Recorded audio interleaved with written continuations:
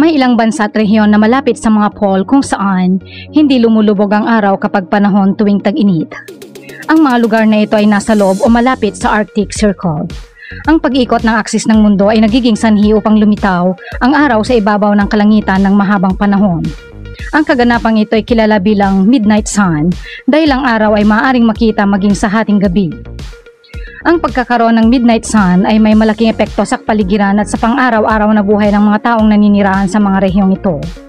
Ito ay nagbabago ng likas na ritmo, nakakaapekto sa pag-uugali ng mga hayop at maaaring makaapekto sa mga gawain ng mga tao tulad ng pagtulog, mga oras ng trabaho at mga libangang aktibidad.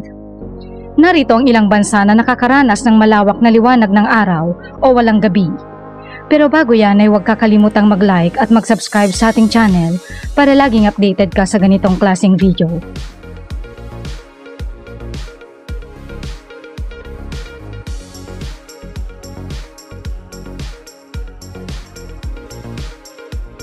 Greenland Isang malaking isla na sakop ng Denmark, ang Greenland ay matatagpuan malapit sa North Pole kaya't ito ay nagkakaroon din ng midnight sun o walang gabi. Sa mga bahagi ng Greenland, particular sa Kanak, ay isang magandang lungsod na hindi hihigit sa 650 ang mga naninirahan. Ito ay kilala sa karanasan ng halos dalawang buwan at kalahating panahon ng pagsikat ng araw na kahit sa hating gabi, karaniwang maliwanag ang lugar. Matatagpuan ang lungsod sa ekstremong teritoryo ng hilagang bahagi ng Greenland at ito ay kilala sa napakahabang mga taglamig at napakagandang midnight skies o kalangitan ng hating gabi. Ang kalagayan na ito ay nagbibigay ng mga natatanging pagkakataon sa mga residente at mga bisita na malibot ang mga kagubatan, mga glaciers at malalaking ilog ng Greenland sa mga oras ng gabi, nang hindi nila kailangang mag-alala sa kadiliman. Russia Ang bansang Russia ay isa sa mga pinakamalawak na bansa sa mundo at may ilang mga rehiyon tulad ng Northwestern region na nakakaranas ng midnight sun o tuloy-tuloy na sikat ng araw. Particular sa St. Petersburg, ang lugar na ito sa Russia ay may populasyon na mahigit sa isang milyong tao na naninirahan. Ito rin ang pinakahilagang lungsod sa buong mundo. Sa loob ng isang buwan at kalahati, nakakaranas ang lugar na hindi bumababa ang araw sa ibaba ng horizon na dahilan ng kawalan ng gabi. Sa makatuwid, walang paglubog ng araw sa lugar na ito sa loob ng isang buwan at kalahati. Sa mga panahong ito, ang mga residente ng mga lugar na ito ay maaaring magtangka ng mga aktibidad tulad ng paglalakad sa mga tundra, pagpapalipad ng mga kites o paglalayag sa mga karagatan habang binabantayan ng araw na patuloy na nasa itaas ng horizon. Alaska, USA Bilang bahagi ng Estados Unidos, ilang bahagi ng Alaska ay malapit sa Arctic Circle ay nakakaranas ng midnight sun o mga panahong walang gabi. Mula huling bahagi ng Mayo hanggang huling bahagi ng Hulyo, particular sa syudad ng Barrow, ang pinakamalaking lungsod sa North Slope Borough in the US state of Alaska. Sa panahon ng tag-init, maaaring mag-enjoy ang mga residente at turista sa Alaska ng mahabang mga araw at mga gabi na puno ng liwanag maaari nilang gawin ng mga aktibidad tulad ng pag-akyat ng mga bundok, paglangoy sa mga ilog at lawa, at pagmamasid ng mga hayop sa alinmang oras ng araw dahil sa patuloy na liwanag. Finland Ang Finland ay isa pang bansa na malapit sa latitudinal na lokasyon kung saan nagaganap din ang midnight sun o walang gabi. Ang Finland ang lupain ng libo-libong lawa at mga isla. Karamihan sa mga bahagi nito ay nakakakita ng buong araw kahit gabi sa loob ng 73 days.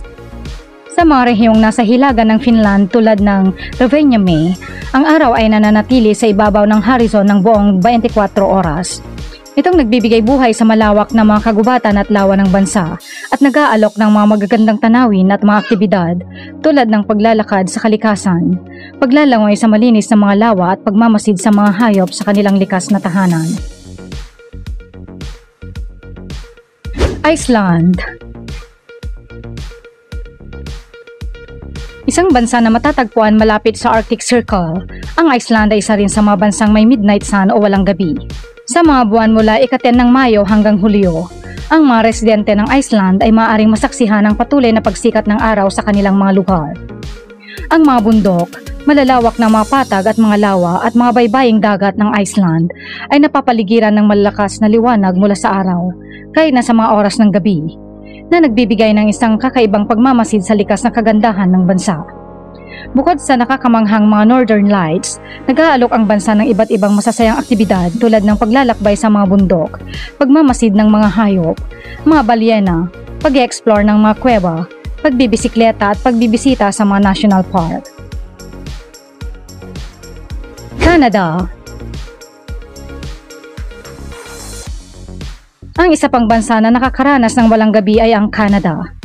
Ang Canada ay ang kalawang pinakamalaking bansa sa buong mundo at maraming bahagi nito ay natatakpan ng niebe sa buong taon. Sa mga lugar tulad ng Inuvik at Northwest Territories na nagkakaroon ng halos 50 days na walang gabi.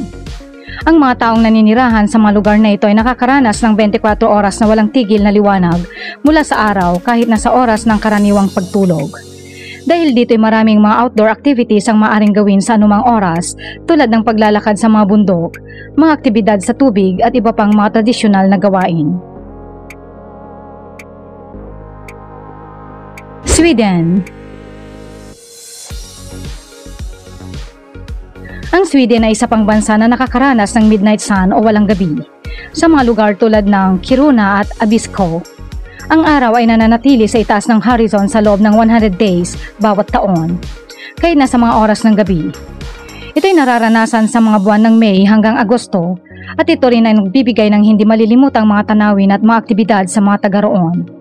Maaaring makita ang mga bundok, kagubatan at mga lambak na natatanaw sa liwanag ng araw kahit nasa gitna ng gabi na nagbibigay ng kakaibang karanasan sa mga bisita maaari kang magpakasaya sa mga mahabang araw sa pamamagitan ng mga mapangahas na aktibidad. O kaya ay mangisda, maglaro ng golf, pag-skiing, panonood ng mga northern lights, pagbisita sa mga park o paglilibot sa mga kapatagan. Norway. Matatagpuan sa Arctic Circle, tinatawag na lupain na walang katapusang araw sa loob ng 76 days mula Mayo hanggang huling bahagi ng Hulyo. Sa lugar na ito, ang araw ay hindi bumababa sa horizon at sa halip ay nananatili ito sa ibabaw ng kalangitan sa loob ng 24 oras.